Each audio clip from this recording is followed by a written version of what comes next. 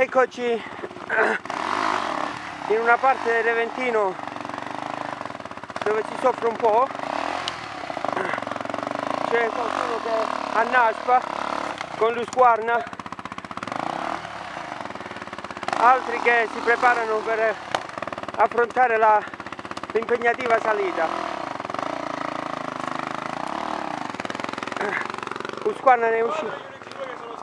Gli unici due che sono sopra sono il signor Alessandro Volpe e il signor Antonio Romano parcheggiati comodamente.